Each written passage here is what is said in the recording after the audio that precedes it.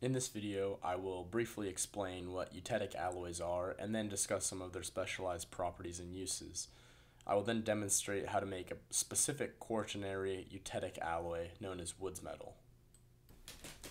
The word eutectic is of Greek roots. The prefix EU means easy, and the remainder of the word means melting.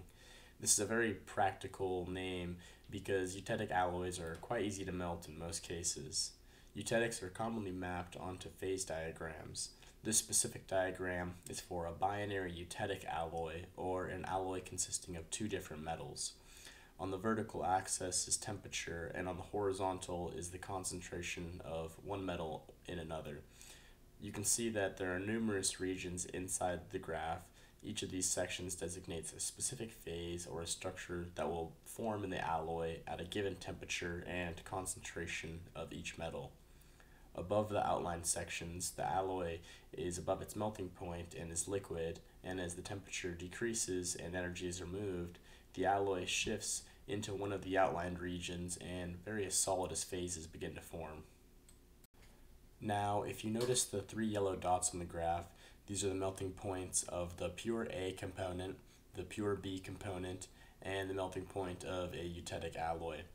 What is interesting about eutectics is that at the yellow point in the middle of the graph, the freezing temperature of the alloy is less than the melting points of both metals that make up the alloy. The melting points of the base metals are denoted by the yellow dots on either extreme of the x-axis. Individually, the metals melt at a much higher temperature than the melting point of the alloy. Not all alloy systems form eutectics, and to be a true eutectic, all components of the alloy must melt at the same temperature once combined. Eutectic alloys are commonly used to replace dangerous lead-based solders that make up the plumbing of our homes and contacts in our electronics. In the plumbing industry, a eutectic alloy of tin, silver, and copper makes a particularly good replacement for lead because of the alloy's similar characteristics of good wettability and low melting temperature. Eutectic alloys also find their place in the fire protection industry. A heat-sensitive alloy can be used in sprinkler heads as a plug that holds back the flow of water of the sprinkler system. The water in the sprinkler system will be released once this pin is heated and melted from hot gases that result from a fire. Now that you know a little bit about eutectic alloys, I can show you the alloy that I made. Wood's metal, which is also known as Lipowitz's alloy, is composed of 50% bismuth, 26.7% lead, 13.3% tin, and 10% cadmium by weight. Here you can see that I weighed each of these metals out in their respective proportions. In the trays, I have enough metal to make a 200 gram sample of the alloy. After everything was prepared, all of the metals were transferred to my graphite crucible and heated until they melted together. The metals were subsequently sloshed around to ensure good mixing and then poured into a preheated graphite ingot mold. You should notice that throughout the experiment I'm wearing gloves during any handling of the metals and that I chose to melt them together on a very windy day. These precautions were used to limit my exposure to the lead and cadmium, which are both quite toxic metals. Even touching them with bare hands is enough to contaminate yourself, not to mention breathing in their fumes.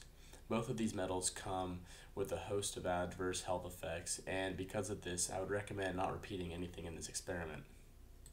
I was certain of my success in making this eutectic because once I cast the alloy into the ingot mold, it took more than 15 minutes to solidify enough to be removed.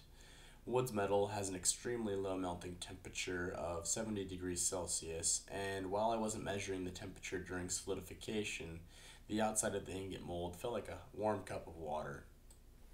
You can see that even though I waited a fair amount of time to pull the metal from the mold, it was still not completely solid and split in two during removal. Overall, the alloy was quite lustrous and surprisingly brittle. The metal was so brittle that in this semi-molten state, it could be crumbled into pieces in my hand and agglomerated back together into a solid mass. The large amount of bismuth in the alloy is probably responsible for its brittleness.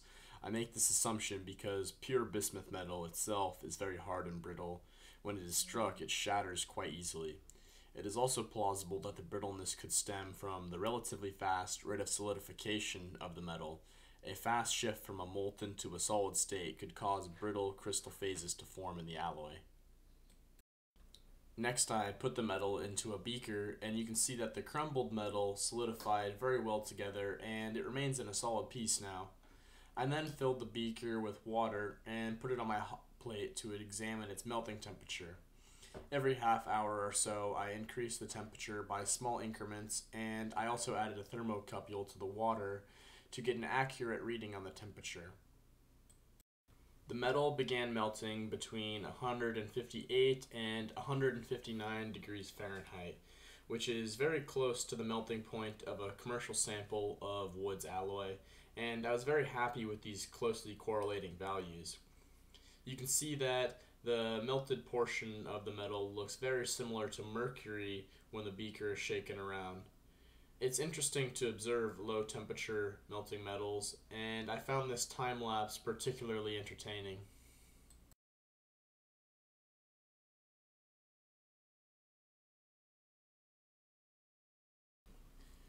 It's bizarre to see a metal that can melt in water that isn't even boiling, and this phenomenon is why I undertook the project. After leaving the metal in the water for a few minutes, I began to notice a discoloration on its surface. This is primarily the oxides of the alloyed metals that ended up floating to the top, but it could also be contaminants that were trapped inside the metal. It was very easy to scrape the surface and expose the clean metal with the glass stir rod, but once I removed the surface contaminants, it darkened fairly quickly.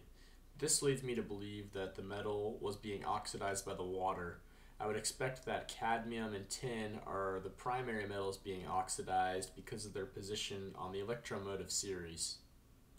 I continued to clean the metal by scraping its surface, and once the water had cooled enough, the metal retained its shiny luster. As it began to solidify, I noticed that portions of the liquid metal were trapped between a solid upper layer and the glass. This looked quite peculiar, and interestingly, some of the crystals were exposed when the metal was moved away. They did not appear to have an easily identifiable structure, but it was definitely crystalline. The metal remained liquid for a long time, and once it was solid, it was quite difficult to remove from the beaker. However, I eventually managed to get it out. One small piece of the metal solidified into a long drip-like structure, and I decided to test its rigidity. I was surprised to see that it held up much better than the broken ingot and was actually quite difficult to snap for its size. There were some crystals on the inside of the drip, but they were too fine to examine their structure. I next wanted to test the castability of the alloy, so I remelted the puck in a clean beaker and set about making a mold. I used a small slip of paper and tape to make a cone and then situated it inside a beaker with some sand for support. The metal poured very well into the mold and it did not splash or deform the paper. I was actually very surprised that the heavy liquid metal didn't spill out of the loosely taped seams. I chose to make this shape because I planned to use this casting as a conductive base to electroform a copper cone. While doing this project, I also researched the density of Wood's metal and found that on average it is 6 point, or 9.6 to 9.7 grams per cubic centimeter. So it could be used for counterweights or a variety of other applications that require dense materials like radiation shielding. It was also interesting to see that this alloy was very good at wetting glass and it stuck very strongly to the beaker while it was molten. This is a property that gallium also has.